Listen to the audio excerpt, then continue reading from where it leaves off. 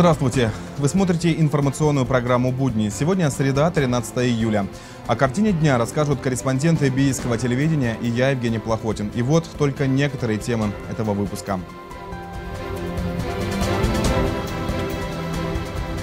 Криминальная версия не исключена. Сегодня ночью в Бийске горела иномарка.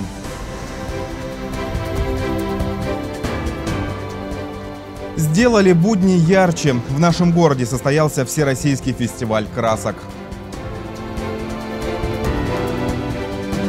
Запасы топлива выше нормы. Подготовка к отопительному сезону идет полным ходом.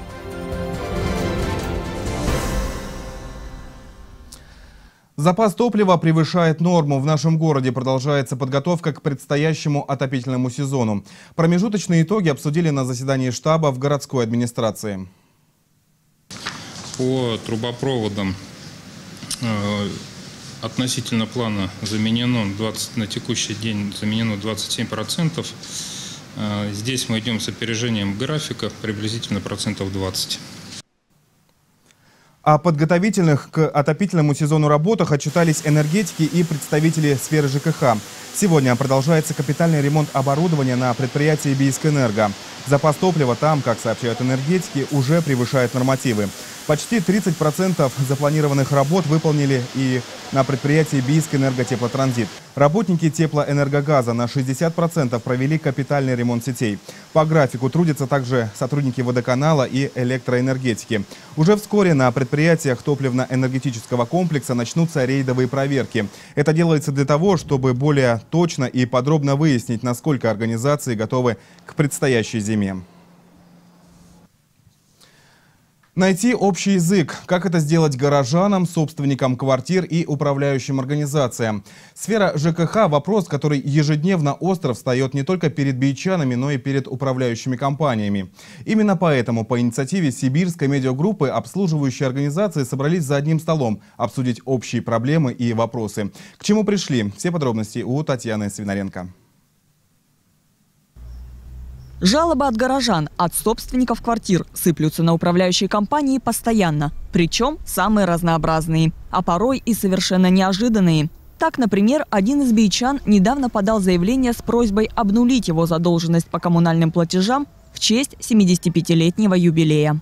Согласно законодательству, мы должны собрать собрание, повестка дня, в которой должна гласить о том, что если такое предложение, есть то есть, угу. собственник, который, вот у него 75 лет, ему нужно сделать подарок в размере его задолженности по квартплате. И ну, это на контроле стоит. Понятно. И мы должны за это отчитаться. Вот как раз эти моменты безумного идут. Другая жалоба, точно такая же. Почему трава в мае в прошлом году была зеленее, чем в этом году? Так что же входит в компетенцию управляющих компаний? За что жители могут спросить с этих организаций, а какие вопросы не в их ведении? Это нужно понять каждому собственнику. А еще то, как правильно расставить приоритеты в обслуживании дома, чтобы потом не оказаться в проигрыше. Есть э, э, работы по жизнеобеспечению ну, жилого дома. То есть это э, инженерные коммуникации, кровли, там, швы и прочее, прочее. Вот э, собственник принимает решение, мы не будем делать отопление, мы, сделаем, мы хотим сделать подъезд, ремонтировать подъезд. Мы вот тоже не можем такое решение принимать, грубо говоря. Ну, то есть всегда всем говорю, в любом случае жизнеобеспечение мы будем вперед проводить, которые работают, зависит, э, зависит э, содержание дома. Ну, и опять же возникают, вот на эту тему жалобы, то есть возникают. История управляющих компаний и одновременно претензии со стороны жильцов началась тогда, когда люди стали собственниками квартир. Бюджетное финансирование государства прекратилось. Появились управляющие компании-самоучки. Сегодня перед ними стоит ответственность перед государством и жильцами. А еще множество стандартов, которые они обязаны соблюдать. Мы можем, конечно, если мы не, не это, мы можем идти. Но, во-первых, кто придет, нет никого, сзади вакуум, вообще никого нет, никто никого не готовит. Мы самоделкины все, мы уйдем, конечно, но дайте профессиональную тогда среду, создайте вы эту элиту. Пускай она придет тогда, подхватит как надо. Ее же нет на сегодня, зачем то, что есть сломать? Даже, а если даже и против элиты, она же в эту же систему пойдет структурную, в те же правила. Как раз для того, чтобы наладить диалог горожан с обслуживающими организациями и собрался сегодня этот круглый стол. За ним встретились представители крупных управляющих компаний и сибирской медиагруппы. Сегодня мы стали инициаторами этого круглого стола. Мы пришли к выводу, что на сегодняшний день нет достаточного взаимопонимания между людьми, собственниками квартир и управляющими компаниями. И мы в лице сибирской медиагруппы готовы помочь наладить этот диалог. Андрей Абрамов также рассказал собравшимся, что сибирская медиагруппа создает сейчас в Биске проектный офис. Это площадка, на которой будут обсуждаться важнейшие для города вопросы. Площадка экспертов и журналистов. На ней будут вырабатываться решения и доводиться до реальных проектов. Одним из них может стать рейтинг управляющих компаний, который будет учитывать не только официальные критерии – наличие штрафов и задолженностей, но и мнение потребителей услуг. Татьяна Свинаренко, Иван Зяблицкий. Будни.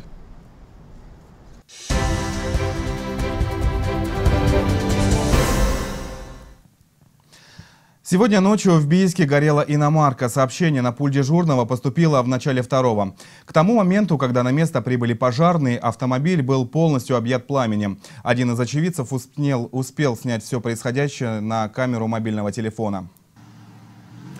Что именно произошло, пока неизвестно. Отрабатываются разные версии. Одна из них – неисправность автомобиля. Также не исключена криминальная версия – поджог.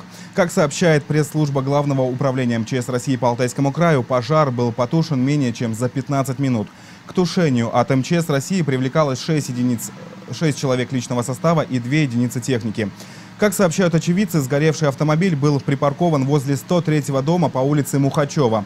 Отметим, что в день ЧП рядом стояли еще автомобили. Однако хозяева вовремя успели выскочить и отогнать свои машины на безопасное расстояние. В причинах сейчас разбираются. Насколько аппетитный, настолько же и опасный грибной сезон в самом разгаре не только в лесах, но и на городских улицах. В Алтайском крае уже зарегистрированы первые случаи отравления грибами. В больницу обратилось три человека. Отметим, что жителей Бийска среди них нет. Грибами отравились сельские жители, причем они сами собирали и готовили грибы. Однако ошиблись и приняли несъедобные грибы за съедобные. Все, под... Все пострадавшие вовремя обратились за помощью к медикам. Сейчас их здоровью ничего не угрожает. Сегодня практически на каждом стихийном рынке начали торговать грибами. Покупать такую продукцию на трассах или вдоль улиц не рекомендуется. Ни в консервированном, ни в свежем, ни в каком виде грибы продавать нельзя простым, ну, простым жителям. Для личных целей только набирают, тем более около дорог. Около дорог это вообще ну, катастрофа. Также следует помнить, что сорванный гриб должен быть приготовлен в этот же день. Отваривать грибы нужно не менее 30 минут. Основные признаки отравления грибами – это тошнота, боль в животе, расстройство желудка, иногда и галлюцинации. Также, что если после употребления грибов у вас появились такие симптомы, то нужно немедленно обратиться в поликлинику. А вот покупают ли грибы бичане? В этом сегодня попытался разобраться наш корреспондент. А, скажите, пожалуйста, вы где грибы покупаете? В бару. Едем и рвем. А, вы не покупаете? Э, Желательно мы как-то не, не очень сами, в общем, заготавливаем. Белые грибочки, опяточки. Угу. Ну и там какие еще Боитесь попадутся. покупать а потом? Нет, не боимся мы. Ну, ну, если есть возможность, почему? Или Покупаю, но крайне редко. Знаю, э, что иногда их берут у дорог. Я могу их собрать. Все. Сел на машину, поехал, да набрал. Самому интереснее, чем покупать. Походил, отдохнул. Я покупаю всегда у своих знакомых. Я на их надеюсь. Положительно так отношусь к этому. А у случайных людей я не беру. Сам собираю, в лес хожу и собираю. Нашествие полтинников, которые городской казне обходятся в несколько десятков тысяч рублей. Корреспондент газеты «Бийский рабочий» Наталья Каршева выяснила, с какими сложностями сталкиваются городские службы в попытке выявить и наказать не только расклейщиков, но и заказчиков такой агрессивной рекламы. Ну, погонять город э, этими всеми расклейками ни в коем случае нельзя. Не надо это все лепить на двери, на стены, чуть ли не на окна. Не надо этого делать, это нарушение. Настенный рекламный бум об этом практически говорят на каждой городской планерке. Расклейщики объявлений обезобразили дома и улицы. Городу наносится ущерб в десятки тысяч рублей. Что же необходимо сделать и как регламентировать размещение рекламы, которая во многом влияет и на внешний облик города? Подробности об этом читайте в газете «Бийский рабочий». Информационная программа «Будни» мы продолжаем. Разукрасить будни в яркие краски. Такую возможность бийчанам представили гости из северной столицы. Жители Санкт-Петербурга привезли в Бийск популярный яркий праздник – Холи. Как это было в нашем городе, мы расскажем вам прямо сейчас. Холи – один из старейших индийских праздников. Он популярен в странах с большими диаспорами индусов. Издревне именно так они встречали весну, почитали божества и силу плодородия. Со временем яркий праздник разошелся по всему миру. Фестивали красок полюбились и в нашей стране. Розовые, зеленые, желтые и фиолетовые. Люди с большим удовольствием обсыпают себя и друг друга цветными красками. Мы думали, знаете, придем, начнется тут, что никто никого. А тут даже еще фестиваль не начался, уже все цветные ходят. Но это круто. На фестивале красок. Очень интересно тут. Много друзей находишь новых. Можно познакомиться с многими людьми. Это очень интересно, и после этого тебе появляется много друзей. Жара, яркость, весело, музыка, класс! В Бийске фестиваль красок уже проходил в прошлом году. Тогда его организаторами стали сами бичане. В этом году впервые яркий праздник в наш город привезли жители Санкт-Петербурга. С такими гастролями они ездят по стране третий год. До нас они уже побывали в Новосибирске, Кемерово, Тюмени, Екатеринбурге и Новокузнецке. В Бийск их пригласило руководство культурно-спортивного центра. С января месяца мы вели переговоры о том, что ребята приедут к нам и пройдут здесь фестиваль красок для молодежи, для нашей. Мы обговорили все позиции. Ребята привезли с собой весь комплект, весь набор, который вы видите, и красок, и сцену.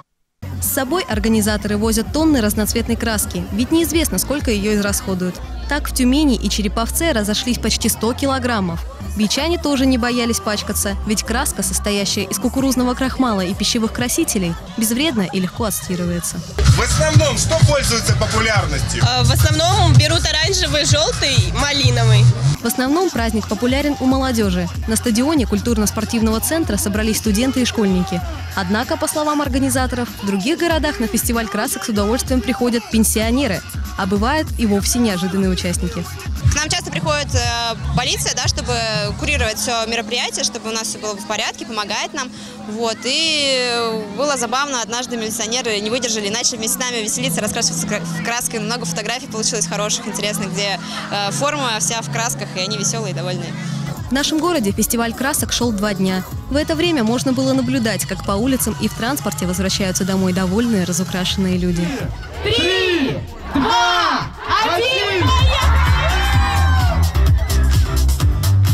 Диана Козлова, Татьяна Свинаренко, Евгений Плохотин, Иван Зяблицкий. Будни.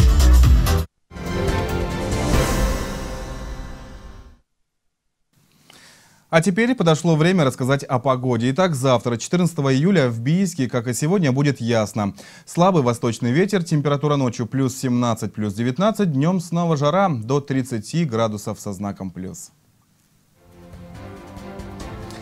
Что ж, это все новости на сегодня. На этом я с вами прощаюсь. Желаю вам приятного завершения этого дня. Будьте здоровы. Ну и, конечно же, друзья, улыбайтесь чаще, несмотря ни на что.